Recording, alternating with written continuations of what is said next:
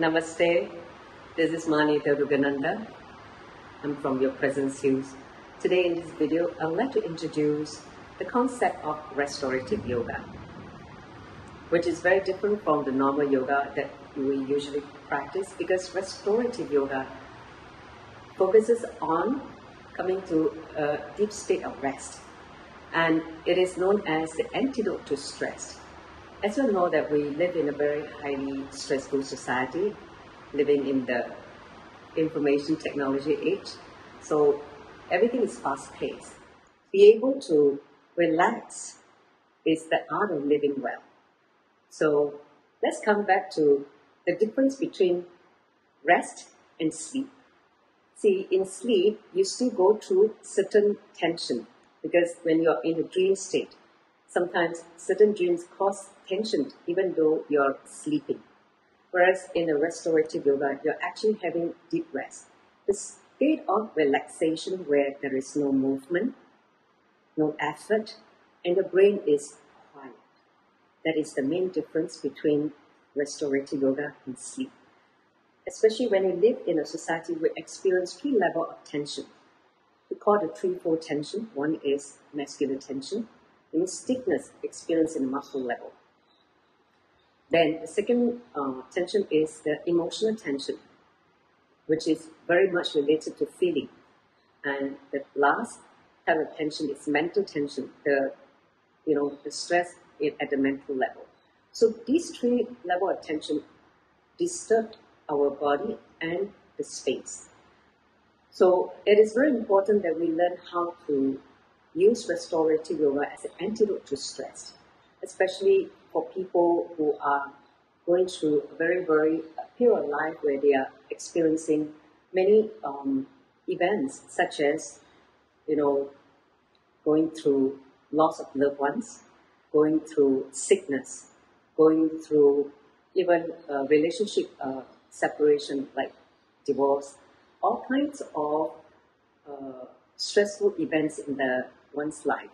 So restorative yoga is actually a very good system to help everyone to basically learn how to come to the state of centering where you can deeply rest and be able to see things clearly once again.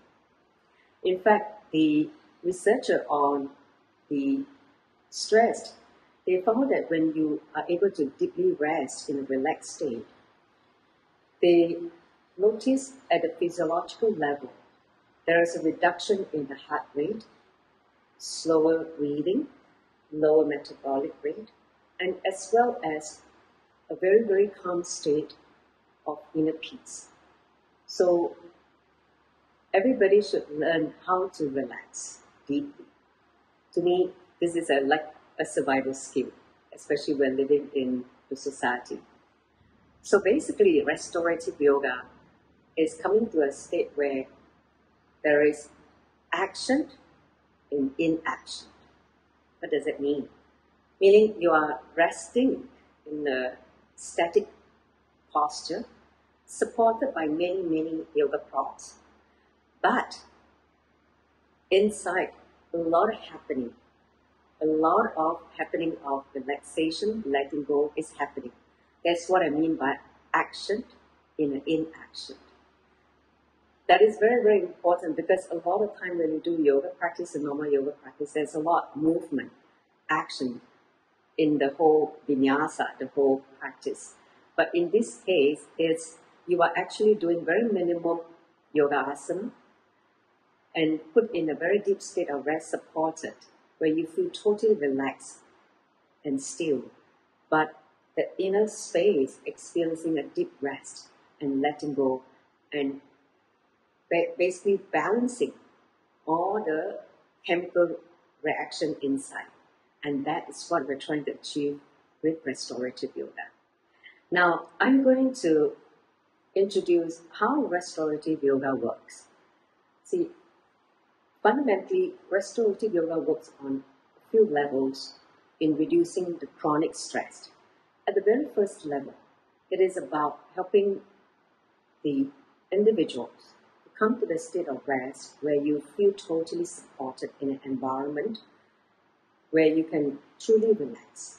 in a very deep way using the props of yoga. Second, it is able to help you to work on the entire spine. As you know that the spine is a very important structure where all the energy flows uh, go through the spine column. So the spine is able to relax and also stretch in a way during the restorative yoga posture. So the spines get stretched in different directions, which is very important for the health uh, of the spine. Third, in any restorative yoga sequence, we also incorporate certain inversion. Inversion could be as simple as resting the legs against the wall, which helps in many, many, uh, you know, reversal of like water retention, blood flow to the upper extremity. All that will help to strengthen the internal organs and the energy flow of the body.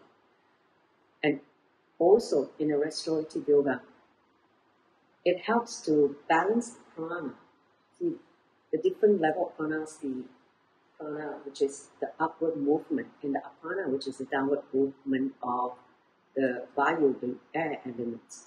So when in the restorative yoga, you're able to incorporate the sequence of the poses to balance the energy flow within the body, which aids in not only uh, inducing a deep state of rest, but also healing the process of healing, triggering the healing, natural healing ability of the body.